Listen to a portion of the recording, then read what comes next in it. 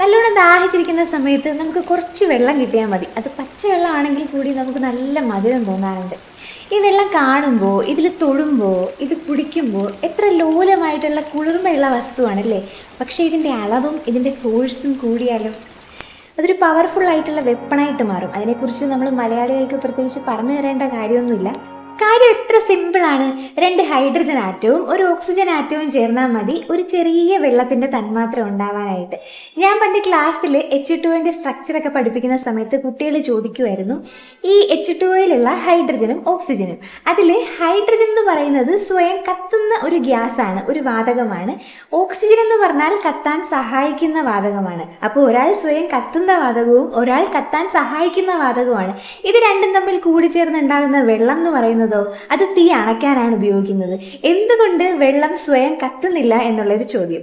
ഇനി രണ്ടാമത്തെ ഒരു ചോദ്യം എന്ന് പറഞ്ഞാൽ നമ്മുടെ അന്തരീക്ഷത്തിലുള്ളതാണ് ഹൈഡ്രജനും ഓക്സിജനും ഒക്കെ. എന്തുകൊണ്ട് ഹൈഡ്രജനെയും ഓക്സിജനെയും കൊണ്ടുവന്ന് നമ്മൾ വെള്ളം ഉണ്ടാക്കാനായിട്ട് നമുക്ക് സാധിക്കുന്നില്ല? ഇനി അങ്ങനെ സാധിക്കുന്നുണ്ടെങ്കിൽ എങ്ങനെയാണ് സാധിക്കുന്നത്?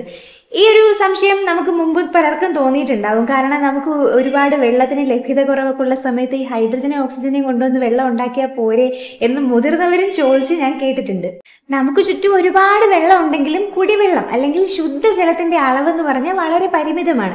അതുകൊണ്ടാണല്ലോ നമ്മൾ ജലം അമൂല്യമാണ് അത് പാഴാക്കരുത് എന്നൊക്കെ പറയുന്നത്. അങ്ങനെ ഇരിക്കെ ജലത്തിന് ഇത്രയും ലഭ്യത കുറവുള്ളപ്പോൾ ഈ ഹൈഡ്രജനെ ഓക്സിജനെ ഉപയോഗിച്ച് ഇത്രയധികം ശാസ്ത്രം പുരോഗമിച്ചിട്ടും നമുക്ക് വെള്ളം ഉണ്ടാക്കാൻ സാധിക്കുന്നില്ലെങ്കിൽ അത് എന്തുകൊണ്ടാണ് അത് ലോജിക്കൽ ആയിട്ടുള്ള ഒരു ക്വസ്റ്റ്യൻ ആണല്ലോ. അപ്പോൾ ഈ സംശയം കുട്ടികൾക്ക് മാത്രമായിരിക്കില്ല മുതിർന്നവരുടെ മനസ്സിലും ഉണ്ടായിരിക്കും എനിക്ക് ഉറപ്പാണ്. നിങ്ങൾ പഠിക്കുന്ന സമയത്തോ അല്ലാത്ത സമയത്തോ ഒന്നും നിങ്ങൾക്ക് ഇതിന്റെ ഉത്തരം കിട്ടിയതും വരില്ല. അപ്പോൾ ഇന്നത്തെ വീഡിയോയിൽ ഈ ചെറിയ വലിയ കാര്യത്തെക്കുറിച്ചാണ് ഞാൻ ഡിസ്കസ് ചെയ്യാനായിട്ട് പോകുന്നത്.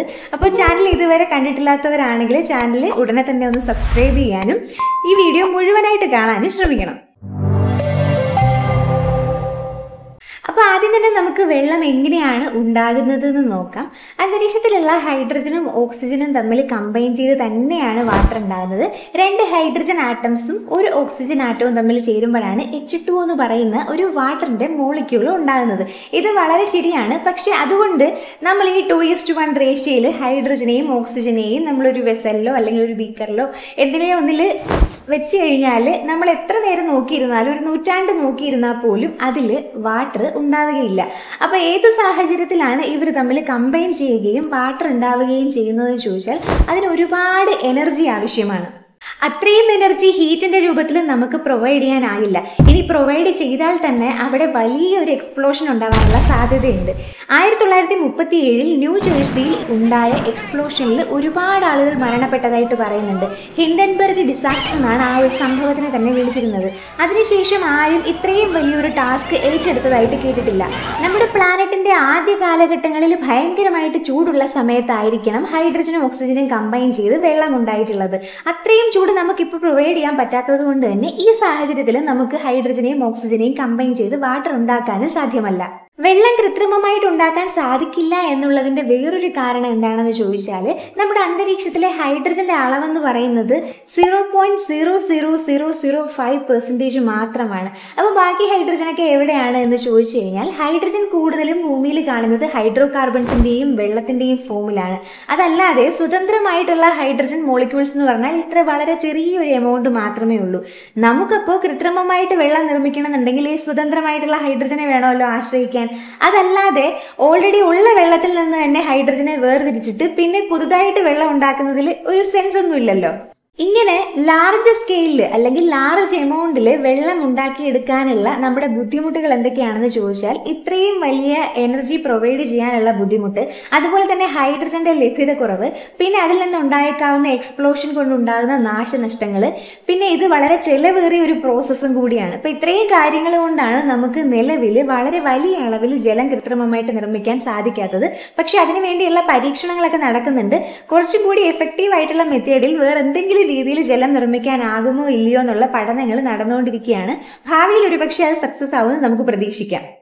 ഇനി ഹൈഡ്രജനും ഓക്സിജനും തമ്മിൽ ചേരുമ്പോൾ ഉണ്ടാകുന്ന ജലം എന്തുകൊണ്ട് കത്തുന്നില്ല എന്നുള്ളതിന് ഒരു ഉദാഹരണം പറയാം. ഈ കത്തുക അല്ലെങ്കിൽ ബേണിംഗ് എന്നൊക്കെ പറയുന്നത് രണ്ട് മോളിക്യൂൾസ് തമ്മിൽ ചേരുമ്പോൾ പുറത്തുവിടുന്ന എനർജിയാണ് ആ എനർജി എന്ന് പറഞ്ഞാൽ ലൈറ്റിന്റെ ഫോമിലും ഹീറ്റിന്റെ ഫോമിലും ഒക്കെ ആയിരിക്കും. അതിനെയാണ് നമ്മൾ കത്തുക എന്ന് പറയുന്നത്. ഒരു ബേണിംഗ് അല്ലെങ്കിൽ ഒരു കത്തൽ സംഭവിക്കണം എന്നുണ്ടെങ്കിൽ അവിടെ ഒരു ഫ്യൂവൽ സോഴ്സും ഒരു ഓക്സിഡൈസറും ആവശ്യമാണ്.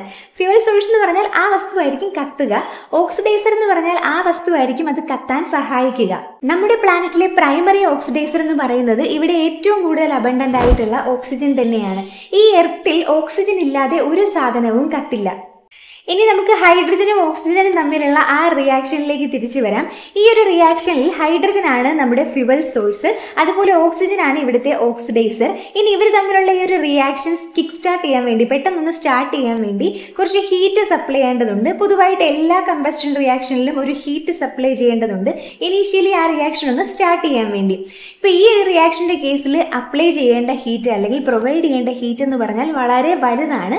പിന്നെ ഇവർ രണ്ടുപേരുടെ ഒരു സ്വഭാവം അനുസരിച്ച് ഒരാൾ കത്താൻ സഹായിക്കുന്നു ഒരാൾ കത്തുന്നു. അതനുസരിച്ച് ഇവർ തമ്മിലുള്ള കമ്പൈനിങ് അല്ലെങ്കിൽ കമ്പഷൻ എന്ന് പറയുന്നത് വളരെ വലിയൊരു എക്സ്പ്ലോഷന് കാരണമാകും. ഈ ഒരു വലിയ എക്സ്പ്ലോഷന്റെ പ്രോഡക്റ്റ് ആയിരിക്കും വാട്ടർ എന്ന് പറയുന്നത്. അതായത് സാധാരണ നമ്മൾ എന്തെങ്കിലും ഒരു സാധനം കത്തിക്കുമ്പോൾ ചാരം നമുക്ക് കിട്ടില്ലേ പ്രോഡക്റ്റ് ആയിട്ട്? അതുപോലെ ഹൈഡ്രജനും ഓക്സിജനും തമ്മിൽ ചേർന്ന് അവർ തമ്മിൽ കത്തുമ്പോൾ കിട്ടുന്ന പ്രോഡക്റ്റ് ആണ് വെള്ളം എന്ന് പറയുന്നത്. തീ കുരുത്തതായതുകൊണ്ട് തന്നെ പിന്നെ ഒരു തീക്കും ഈ വെള്ളത്തിനെ തൊടാൻ പോലും സാധിക്കില്ല. അത് ഞാനൊരു കോമഡി പറഞ്ഞതാണ്. തീ കുരുത്തതായതുകൊണ്ടൊന്നും അല്ല വെള്ളം സ്വയം കത്താത്തത്. അതിന് വലിയൊരു കാരണമുണ്ട്. ഈ പ്രകൃതിയിൽ എന്തുണ്ടാകുമ്പോഴും അതായത് ഏത് രണ്ട് മോളിക്യൂൾസ് തമ്മിൽ ചേർന്നിട്ട് ഒരു കോമ്പൗണ്ട് ഉണ്ടാകുമ്പോഴും ഒരു നിയമമുണ്ട്. ആ കോമ്പൗണ്ടിന് ആ പഴയ രണ്ട് മോളിക്യൂൾസിന്റെയും സ്വഭാവങ്ങളോ സവിശേഷതകളോ ഒന്നുമല്ല ഉണ്ടാവുക. പുതിയ സ്വഭാവങ്ങളും സവിശേഷതകളുമാണ് ഉണ്ടാവുക. എവിടെ ഒരു കെമിക്കൽ ചേഞ്ച് നടന്നാലും അവിടെയൊക്കെ ഇത് തന്നെയാണ് സംഭവിക്കുക. പഴയ ഫീച്ചേഴ്സും ക്യാരക്ടറിസ്റ്റിക്സും ഒക്കെ ആവർത്തിക്കാനാണെങ്കിൽ പിന്നെ പ്രകൃതിയിൽ ഒരു വൈവിധ്യവും ഉണ്ടാകില്ലല്ലോ. സോഡിയവും ക്ലോറിനും ചേർന്ന് സോഡിയം ക്ലോറൈഡ് എന്ന് പറയുന്ന നമ്മുടെ ഉപ്പുണ്ടാവുന്നതും ഇതിനൊരു ഉദാഹരണമാണ്. സോഡിയം എന്ന് പറഞ്ഞാൽ വെള്ളത്തിലിട്ട പൊട്ടിത്തെറിക്കുന്ന ഒരു തരം മൂലകമാണ്. ക്ലോറിൻ എന്ന് പറഞ്ഞാൽ ഒരു വാതകമാണ്. രൂക്ഷഗന്ധമൊക്കെ ഉള്ള ഒരു വാതകമാണ്. ഇത് രണ്ടും കൂടി കൂടിച്ചേർന്നുണ്ടാകുന്ന സോഡിയം ക്ലോറൈഡ് എന്ന് പറഞ്ഞാൽ നമ്മുടെ ഉപ്പാണ്. അത് വെള്ളത്തിലിട്ടാൽ പൊട്ടിത്തെറിക്കില്ലല്ലോ. വെള്ളത്തിൽ ലയിച്ചു ചേരുന്ന ഒരു വസ്തുവല്ലേ? അപ്പോൾ ഇതുപോലെ തന്നെയാണ് ഏത് രണ്ട് മോളിക്യൂൾസ് തമ്മിൽ ചേർന്ന് പുതിയൊരു കോമ്പൗണ്ട് ഉണ്ടായാലും അവരുടെ പഴയ സ്വഭാവം ഒരിക്കലും കാണിക്കില്ല. അതിന് പുതിയൊരു സ്വഭാവം പുതിയ ഫിസിക്കൽ പ്രോപ്പർട്ടീസും പുതിയ കെമിക്കൽ പ്രോപ്പർട്ടീസും ആയിരിക്കും ഉണ്ടായിരിക്കുക. എന്നാലും ഈ വെള്ളം എന്നൊക്കെ പറഞ്ഞാൽ ഭയങ്കര സംഭവമാണല്ലേ? വെള്ളം ഉണ്ടായതൊക്കെ ഒരു ഭയങ്കര മിസ്റ്ററിയാണ് ഈ വെള്ളം ഇല്ലായിരുന്നെങ്കിൽ നമ്മൾ എന്ത് ചെയ്തേനെ? നിങ്ങൾ ഇവിടെ എന്നെ നോക്കിയിരിക്കുകയാണോ ചൊവ്വയിൽ വെള്ളം കണ്ടെത്തിയെന്നൊക്കെ ന്യൂസ് കണ്ടു. ഞാൻ പോവാ ചൊവ്വയിലിട്ട്. നിങ്ങൾ വരുന്നെങ്കിൽ വാ. Bye bye